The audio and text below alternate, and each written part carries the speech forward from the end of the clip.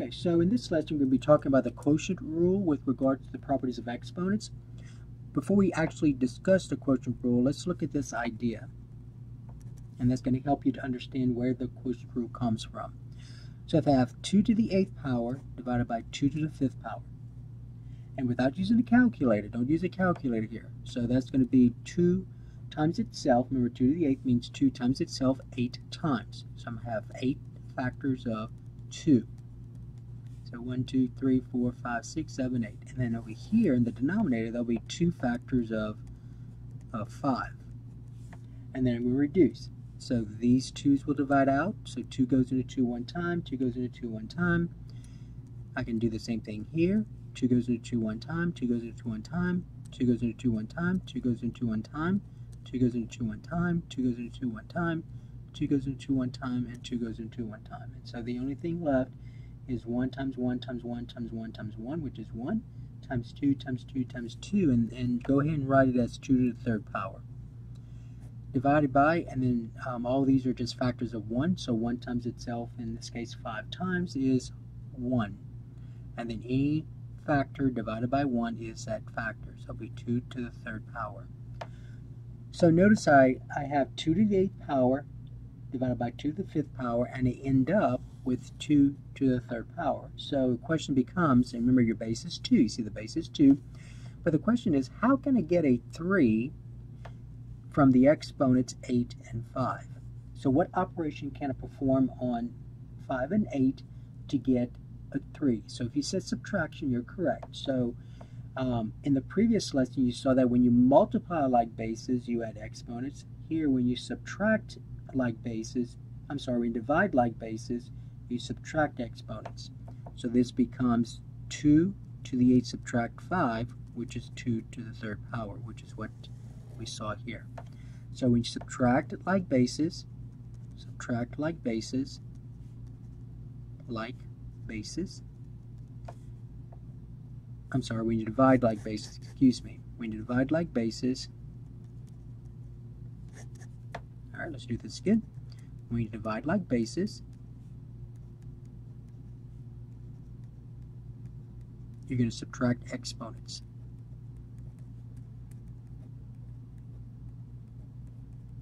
Alright, and so the quotient rule says this. So that's, that's the idea of the quotient rule. So when you divide like bases, you subtract exponents. So the quotient rule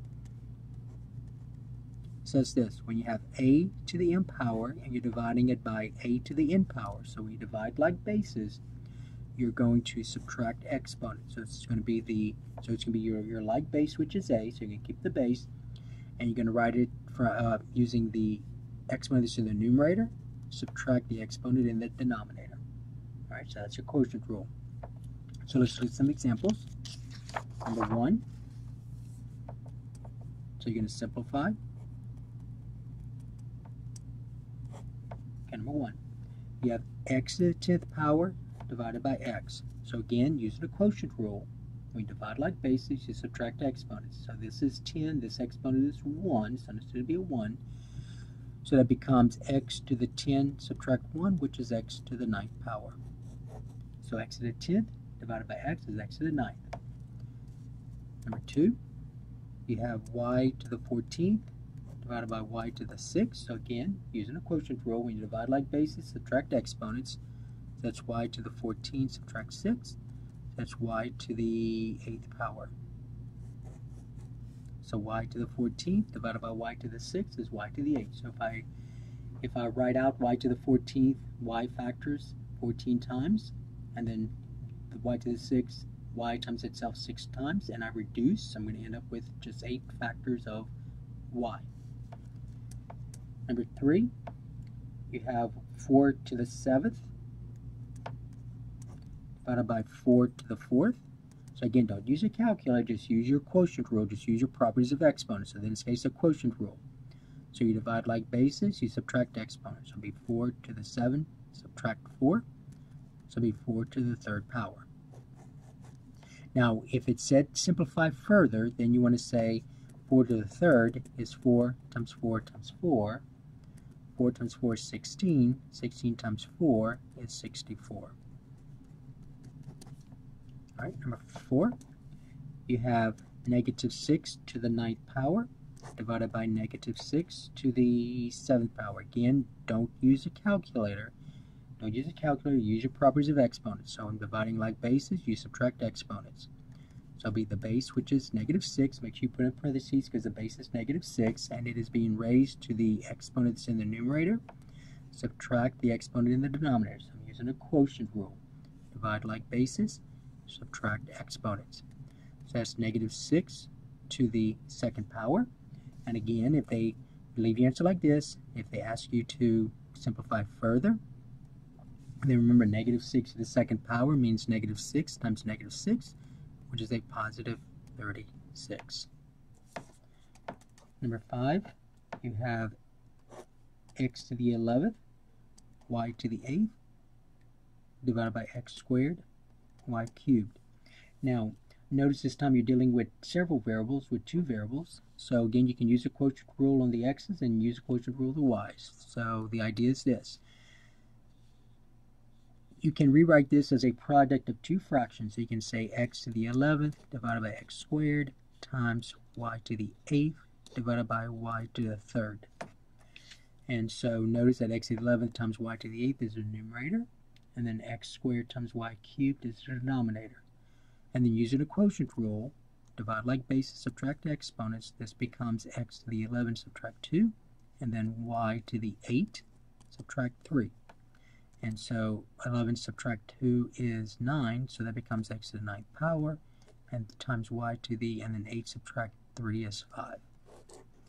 But again, you can go directly from here to the answer just using a quotient rule. All you're doing is use a quotient rule, so you can just do that in your head. Divide like bases, subtract exponents. So be x, your base is x, 11 subtract 2 is 9, your base is y, 8 subtract 3 is 5. Number 6, you have um, a to the 6th power, b to the 7th, divided by a squared b. Again, doing the same thing, rewriting this. But again, you can go directly to the answer just using the quotient rule. But if you want to rewrite it like we did here, you can. That's going to be a to the 6th divided by a squared, so dividing like bases. b to the 7th divided by b. Now using the quotient rule, this becomes the like base is a, so you're dividing uh, like bases, so be a to the 6 subtract 2, it's always the exponent of the numerator subtract the exponent of the denominator, times b to the 7 subtract, if there's no exponent there, so it's going to be a 1. So the answer is a to the 4th power times b, 7 subtract 1 is 6. But again, you can go directly from here to the answer. Number 7, you have you have um, 30 x to the 8th power divided by 6 x to the 5th.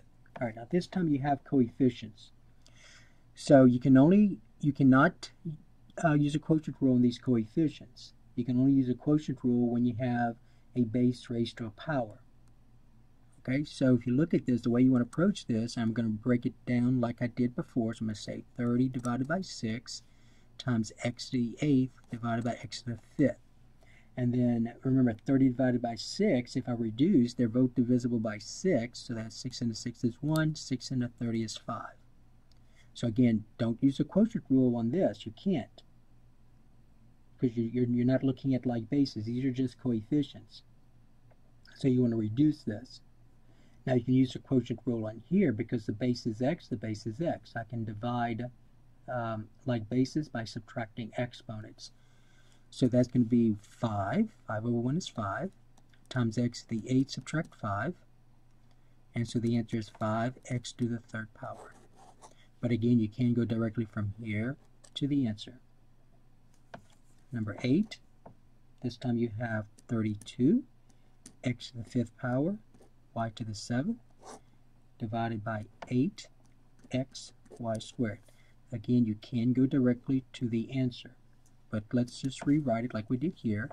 Remember, these are your coefficients, so that's 32 divided by 8. You're going to reduce this like you would in a previous course. So these are not dealing with like bases. You're just reducing 32 and 8 because they're both divisible by 4. Or in this case, um, 8. They're divisible by 8. Times, and then x to the 5th divided by x, times y to the 7th divided by y squared.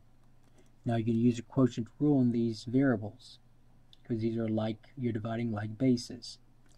Okay, over here, 8 into 8 is 1, 8 into 32 is 4. So I'm going to get 4.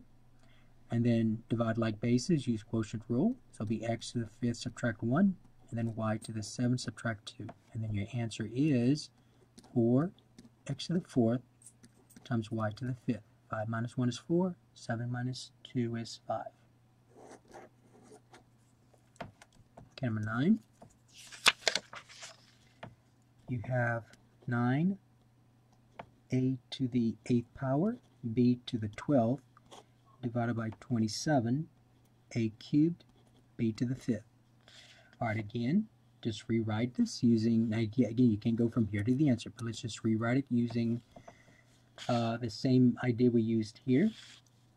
So it'll be 9 divided by 27 of my coefficients times, and I'm going to rewrite this, the rest of them using the like bases. So be a to the 8th divided by a cubed times b to the 12th divided by b to the 5th. Over here, 9 27, so I'm just going to reduce this. They're both divisible by 9, so 9 to 9 is 1, 9 to 27 is 3. So I get 1 over 3 times, I'm dividing like bases, so this one I'm going to use a quotient rule. So 8 subtract 3, so it'll be a to the 8 subtract 3 times b to the 12 subtract 5. All right, now I have 1 third times a to the 8 subtract 3 is 5 times b, and then 12 subtract 5 is 7. Now, the way you want to write your answers like this, you want to write it as one fraction. So that's going to be um, 1 times a to the 5th times b to the 7th is a to the 5th, b to the 7th, divided by 3. Or you can write it as 1 third a to the 5th, b to the 7th, just like this. So it doesn't matter how you write it. So you can say 1 third a to the 5th, b to the 7th, or that means the same thing as a to the 5th, b to the 7th, divided by 3. Because see this one right here? That's, that's this one right here. And then this 3 is this 3. So just notice that this 1 is this one right here. And then this 3 is this 3. Okay? So it does not matter how you write it. Most students, though, will, will leave it like this. Next semester, you're going to notice that you're going to rewrite those those uh, fractions. These are going to be called rational ex uh, expressions. You're going to write those rational expressions like this next semester. But you can write this as this. Okay, it does not matter how you write it. Okay, number 10. For number 10, suppose we had this.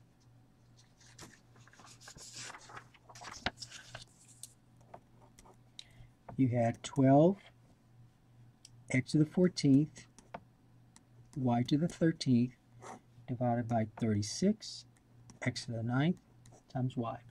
So number 10 is going to be just like number 9. You're going to write, you're going to do it just like number 9. So again, you can go directly from here to the answer. No big deal. But if you need to write in your steps, this is the way I would do it. I would say 12 divided by 36, which is your coefficients, times and divide like bases. It'd be x to the 14th divided by x to the 9th times y to the 13th divided by y. And then reducing 12 over 36, 12 36, they're both divisible by 12. 12 into 12 is 1, 12 into 36 is 3. So I'm going to get 1 third. Now remember, this, this is not 3, this is 1 third. Times x to the 14 subtract 9, y to the 13 subtract, y, uh, subtract 1. That's right here is understood to be a 1. So 14 subtract 9 is 5. 13 subtract 1 is 12. I get 1 third, x to the 5th, y to the 12th, and there's your answer.